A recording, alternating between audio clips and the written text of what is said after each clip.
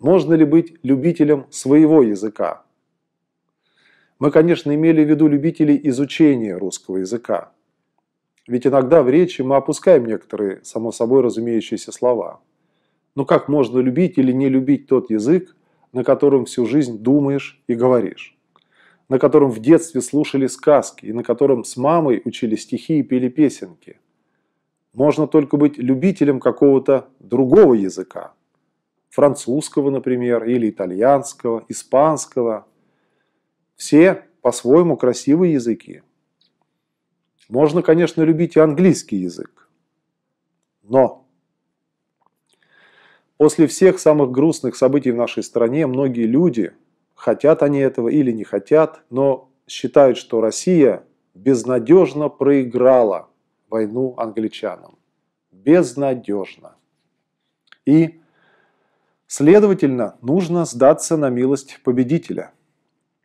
К тому же английский язык, кроме того, что он просто красивый язык, сейчас признается языком международного общения.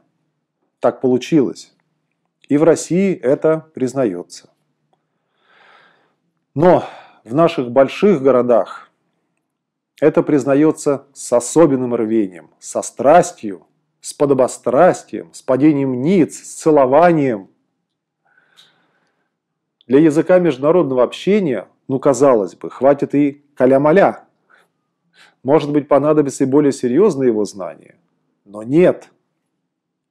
Павшие духом хотят, чтобы их дети знали английский язык как родной, даже чтобы они его знали лучше родного.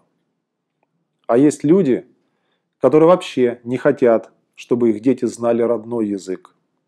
И они хотят, чтобы их дети также стыдились того, что они русские, как стыдятся этого они сами. А некоторые в спокойствии, они без всяких поражений, без всяких унижений, просто всегда думали и сейчас думают, что там у них на Западе все и всегда лучше, чем у нас. И язык в том числе – они просто считают, что английский язык нужно знать очень хорошо для того, чтобы хорошо жить. А своего родного русского хватит и бытового. С этим они своих детей и растят, воспитывают. Кто или что нас спасет от английского языка? Пока таких явных сил не видно. Но мы работаем. И мы надеемся на то, что такие силы у нас появятся.